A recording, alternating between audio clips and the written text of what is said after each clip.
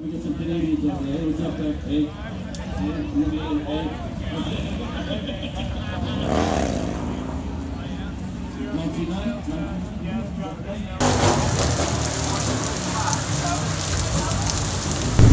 Alright, so in this video, we are going to check out the annual Dyna and FXR mixer over at the Buffalo Chip.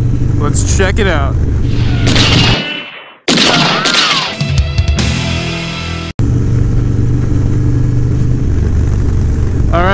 Is going on YouTube? BK Low is back in the building.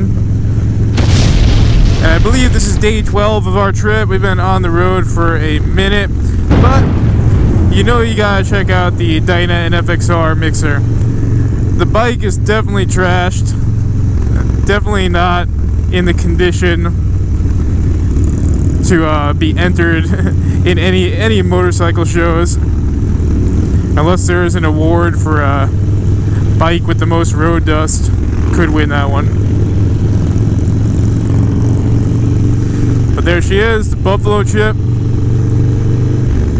And yeah, let's go check out some sweet Dynas and FXRs. Come check it out with me.